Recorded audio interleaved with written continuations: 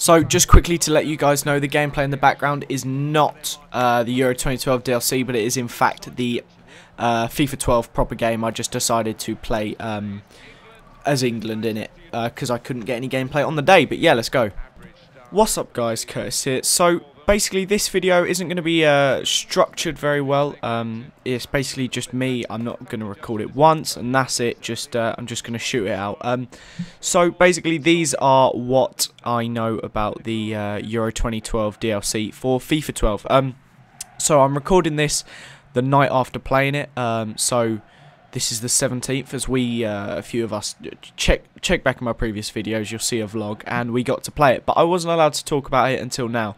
So I'm basically just going to go off everything I can remember on the top of my head and tell you guys what I know. Um, so, uh, first things first, the game mode. So, you've got the usual kickoff, so you can just play matches between each other, obviously. Um, then you've got uh, the UEFA, uh, the Euros, obviously, you can play the tournament. You can either start off in the group stages as one of the 16, maybe more teams. I can't remember. I skipped my mind how many um, it is. Maybe 32. I can't remember to be honest. Um, so you can play as any of those teams and try and progress through the tournament, or you can go back to the qualifications, the original stuff, and play from there. Um, so that's cool. Uh, they've also got Coke Zero challenges, which we weren't able to access because um, it was online and the Xbox we was using wasn't hooked up to online, and obviously they weren't set up. There wasn't a set up because of the date. Um, so I spoke to Rob uh, Hodson on the day, and he said that basically it's going to be, from what he knows, it's going to be. Uh, just like the EA Sports Football Challenges, the Football Club Challenges that we've got at the moment. So but he's not sure if there'll be a reward or something like that. With sponsorship like Coke Zero, there might be cool stuff that you can get. I'm not too sure. Um, bit bit vague on that one. Uh, so other game modes, you've also got online, uh, where you can just play head-to-head -head matches, and we're not entirely sure, but we think there's like an online cup. But again, we couldn't. Uh, couldn't look through this, so don't hold me to that. I'm not entirely sure. So, uh, yeah, we're not too sure about that one. Um, there's also a really cool um, little game type which they've added in, which, in my opinion, is the best best addition to it. It's uh, it's called Expedition, and if you've played FIFA Street, the the closest I can uh, compare it to is like the World Tour, but I I actually think it's better.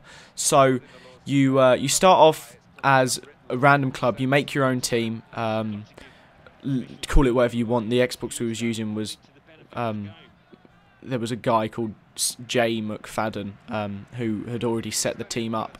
So I'm recording this bit now in post-production. Uh, you may notice that my voice sounds a little bit different because I may be a different distance away from the mic or something, but you can normally tell that. So uh, I found something else out about this expedition mode. I'm not not too sure what to uh, make of it. So I said there was a guy called Jay McFadden. I didn't mean that as in J J A Y, as in the initials J. Dot McFadden. Um, and at the time we were calling it, we were assuming it was James McFadden, but at the same time we also thought it may have been the Virtual Pro. So obviously James McFadden, he plays for what I can't even remember now. Everton. I'm not too sure. Don't quote me on that one. And that obviously means he's not a Virtual Pro. So the thing that made us think he was a virtual pro was above his name in the game you had the little star like you would from a virtual pro.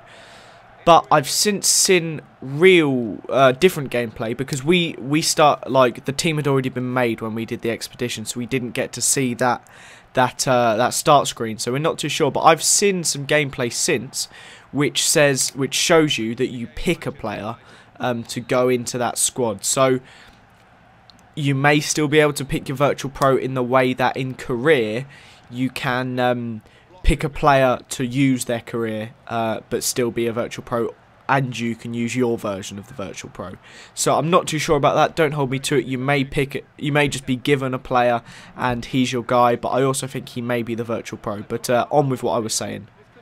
So um, we was playing as mcfadden fc and you have like a really bog standard uh, squad uh, the sort of thing you'd get at the start of FIFA Street, and then you basically you work your way through all the qualifying groups in the uh, in the Euros in the very start bit, so you could play against Andorra, um, Montenegro, all the average teams, and you also play against some of the better teams. And once you beat them, you firstly get a mosaic piece, and you work to unlock an entire mosaic, um, which is pretty cool. Uh, that's like your goal to beat every team three times and have the whole mosaic. Um, and then you also get to pick a player. It start the first time you play him, you get to pick a player from the reserves. Second time you play him, you get to pick a player from the subs, and first time you get a player from the first team. And actually, I can't remember if you pick a player from the reserves or subs or whatever, or you get given one from reserves. I think you might just be given one at random.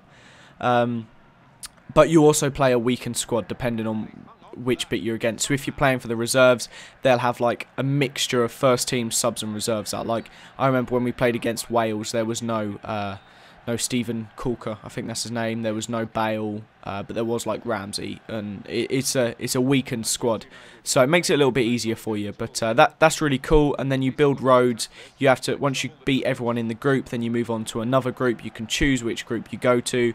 You bounce around Europe, uh, getting better teams, upgrading your pro, and all that cool stuff. And I think it's um, the sort of thing that uh, that I really needs to be added to FIFA. I really like it. All the uh, that it's something really cool for pros instead of just the career mode. It's something special just for the pros, and I personally think it's my uh, my favourite addition.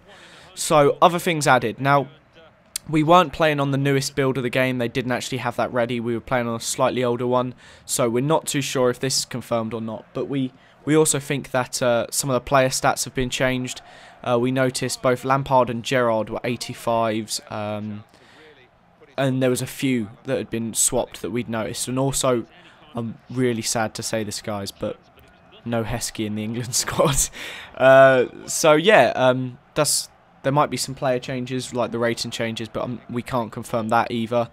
Uh, what else? Um, there's oh yeah, that's another cool thing. The in game at the top. Now I I for some reason thought it was already in FIFA 12, but everyone has assured me it isn't. Um, along the top, it'll come up with random stats like the possession at the at that time or shots that our players had. I think it occasionally drops down with shots on FIFA 12, but this does it like really frequently. Like you'd get on telly, it'll tell you the possession, it, and it's more interesting stats than the ones that I think popped up on 12. So it's really quite cool, and it also like comes up with scores of other people in your group. So that's quite nicely done. Uh, I like that, and the whole the whole feel of all the menu system and stuff. It's like a purpley pink look, uh, as you can tell from the all the press releases that they've done and stuff, and all the releases you'll see over the internet. Um, it's purpley all like the the nation's flags are in like a leaf sort of thing. I'm not too sure what that's about. Um, and yeah, I can't can't really think of anything else, but I can say it's really cool, guys.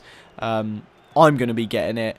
Uh, if you have season pass, you don't get it early, but you get the 20% off. So I think that puts it down to 1,440 Microsoft points, or it's 1,800 otherwise. But um, I haven't been paid to say this, just in case anyone says. But um, get it. Honestly, guys, all I can say is as soon as it comes out to play it, it's definitely worth the, what, 18 quid that it is. It's like a whole new game, and there's so much to do on it. Really, really good. The Expedition, for me, I'd pay 25 quid just for the Expedition mode. I really, really like it, and I think that's a great addition. So, well done to EA for that. Um, so I think that's it from what I what I can uh, remember from the game. There's, I'm sure there's more things added that I've completely missed out, but um, yeah, that's it, guys. Uh, thanks for watching. Thanks again to EA for sending me over. It was absolutely awesome. Um, great, and Rob Hodson is an absolute legend. Um, it was really cool. So thanks again, guys. Thanks for watching. If you could leave a like and share this with your friends, or comment, or subscribe, anything that you want. Um, but I don't really have anything else to say, and I'm rambling on now. So thanks for watching, guys, and I'll see you later. Bye. Oh, and I also want to say a big thanks to UltimateFIFA.com uh, for sending me out there and this will be up on their website along with loads of awesome stuff. I recommend you go and check it out. The link's in the description there. Absolutely awesome. And that's it, guys. Bye.